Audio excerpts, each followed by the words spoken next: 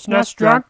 If you take a look at the Super Nintendo video games price charting website, you'll see the top games listed on there are mostly goofy titles with absolutely insane prices. But with the magic of emulation, for some of these games anyway, we can at least take a look at these games very briefly and see what they actually are. First on this list is Nintendo Powerfest 1994. This is sort of like the Super Nintendo version of Nintendo World Championship cartridges for the NES that were made a few years previous. It's mostly the same deal here, albeit with not nearly as much fanfare. It was a competition held in select department stores across the country, with three objectives. The first one being to finish the first level of the Lost Levels from Mario All Stars as quickly as possible. The second objective was fastest time in five laps in Mario Kart, and the third was most home runs in a home run derby for Griffey Presents Major League Baseball. These would all add up into one big store, narrowing down to the top eight across the country, and then the top four down to two, and then finally a winner. The highest score I could find was this dude named Mike Iarossi, who put up 24,127,300. Nice job, dude.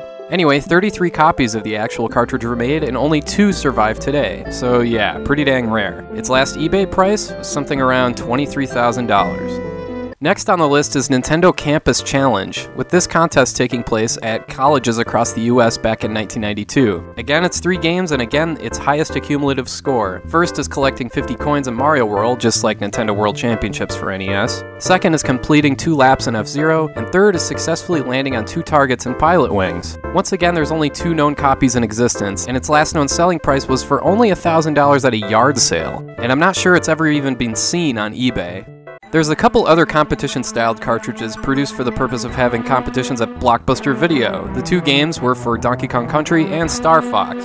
Star Fox was the first one to come out in 1993. You get a 5 minute time limit to accumulate as many points as you can on Corneria and the Asteroid Belt levels, which are altered a bit with a few extra rings and stuff to help pile on the points. About 2,000 cartridges were made, and they go for between $600 and $700. Then there's the Donkey Kong Country competition, which happened in 1994, so it only features the first Donkey Kong Country game. Again, the goal here is most points and a time limit, so the levels are tweaked a bit to gear the gameplay toward that goal. So there's no treehouse or banana cave in the first level, for instance. This game had about 2,500 copies printed, and again, like Star Fox, it goes for between $600 and $700. Now we move on to Exertainment Mountain Bike Rally slash Speed Racer. I always think that says excrement when I glance at the title. It's probably not the best name for it. Anyway, this game was originally sold in a huge box with a big block thing that attaches to the bottom of your Super Nintendo, which then would connect to the Life Fitness bike unit. Good luck finding one of those. Anyway, this is a dual cartridge with the games Mountain Bike Rally and Speed Racer, both compatible with the bike and both really not all that great. This cartridge goes for $1,500 and way, way more if it's complete in the box.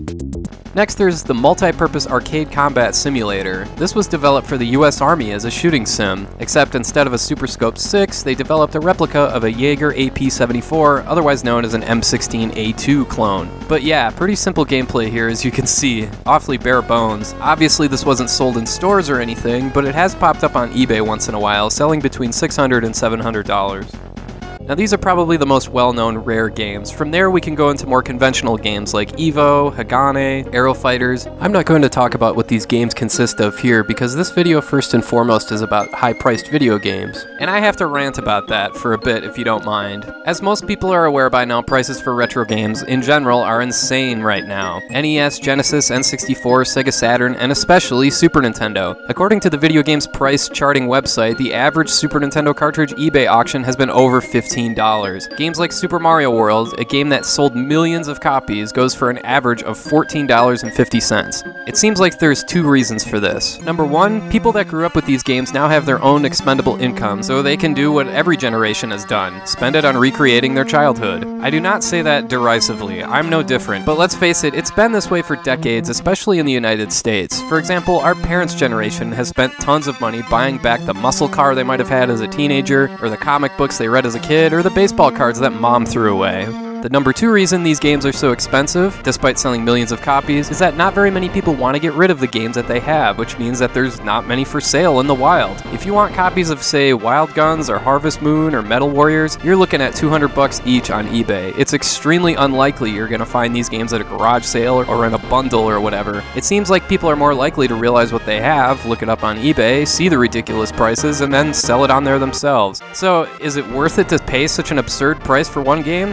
Hell no know, in my opinion. It really depends on if you consider yourself a collector or if you just want to play the games. Now, the games I mentioned at the beginning of this video are all legitimately rare, and if you're a serious retro gaming collector, then I gotta say, yeah, any of those would make great pieces in your collection, but as far as stuff like Harvest Moon or Wild Guns or whatever, then well, you gotta do what you gotta do to get your collection together. But a lot of these games really aren't all that rare. If you're in this just to play the games, get a flash cartridge or get a Wii U and play what's available on the Virtual Console. So yeah, that's the decision you gotta make. Are you a collector, or are you just happy playing the games? Me, I'm just happy playing the games, but if you're a collector, then it's definitely worth checking out some of the legitimately rare games I mentioned earlier on, although don't expect any earth-shatteringly great gameplay or anything like that.